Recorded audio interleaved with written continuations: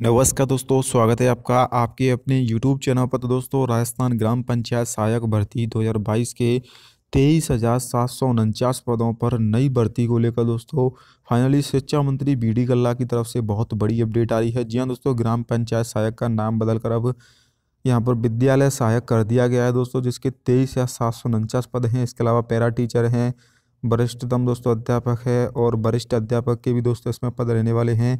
तो इन सभी पदों पर दोस्तों संविदा कर्मी ये भर्ती रहने वाली है। मेरिट के आधार पर आपको सिलेक्शन दिया जाएगा। काफ़ी सारे स्टूडेंट के कमेंट आ रहे कि, सर, इसके आवेदन कब से लिए जाएँगे? तो दोस्तों, इसके एक दिसंबर के आसपास आपके आवेदन लिए जाएँगे। ग्राम पंचायत सहायक, काफ़ी अच्छी पोस्ट मानी जाती है अगर देखा जाए तो दोस्तों यहाँ पर।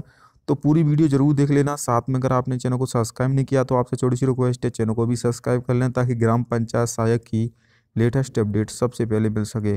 तो दोस्तों, प्रदेश में होने वाली कार्मिकों की स्थिति को अगर देखा जाए तो सबसे ज़्यादा ग्राम पंचायत सहायक के पद रिक्त हैं। तेईस या सात सौ उनचास पद हैं और या इसके अलावा वरिष्ठतम शिक्षाकर्मी के हैं, वरिष्ठ शिक्षाकर्मी के भी पद हैं, सामान्य शिक्षाकर्मी के पद हैं, पैरा टीचर के अड़तीस सौ छियासी पद हैं।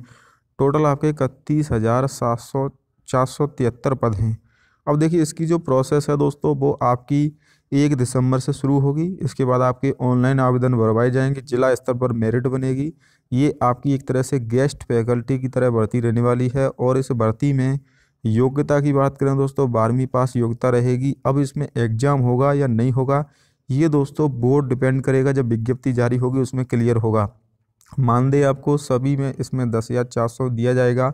इसके अलावा इसमें दोस्तों आपको पाँच प्रतिशत की वृद्धि हर साल वेतन में देखने को मिलेगी। जी हाँ दोस्तों, जो तो टोटल वेतन है उसके पाँच परसेंट की वृद्धि आपकी होगी हर साल और इसके अलावा आपको इसमें पंद्रह सौ रुपये मेडिकल भी दिया जाएगा और इसकी जो सूचना है दोस्तों, विज्ञप्ति के माध्यम से जारी की जाएगी। कितने पद किस ज़िले में रिक्त हैं? शैक्षणिक योग्यता दोस्तों आपकी बारहवीं पास रहेगी, ग्राम पंचायत सहायक की।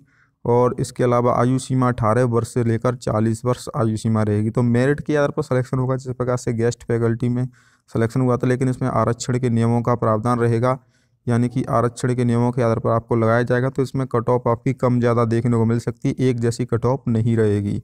तो ये दोस्तों, ग्राम पंचायत सहायक को लेकर इस समय की बहुत बड़ी अपडेट थी। शिक्षा मंत्री बी डी कल्ला ने आदेश जारी कर दिए हैं, और इनका जो सलेक्शन है दोस्तों वो आपका ज़िला स्तर पर होगा। ज़िला स्तर पर आपके फॉर्म भरवाए जाएँगे, जिसकी सूचना आपके जिला शिक्षा अधिकारी के द्वारा शिक्षा मंत्री बी डी कल्ला को दी जाएगी और सभी जितने भी पद रिक्त हैं, उनकी सूचना जल्द से जल्द मंगवाई जाएगी। जिला स्तर पर कितने पद रिक्त हैं और इसके फॉर्म भी आपके दोस्तों एक दिसंबर से शुरू होने की अपडेट है। तो दोस्तों, आशा करता हूँ आपको ये वीडियो पसंद आई होगी। वीडियो को शेयर ज़रूर करना, चैनल को भी सब्सक्राइब करना, लेटेस्ट अपडेट सबसे पहले प्राप्त करने की। और आज दोस्तों आपकी कैबिनेट की मीटिंग भी है, जिसमें कि और बड़ा फैसला आपको ग्राम पंचायत सहायक भर्ती या अन्य भर्तियों को लेकर देखने को मिल सकता है। जय हिंद बंदे मातरम।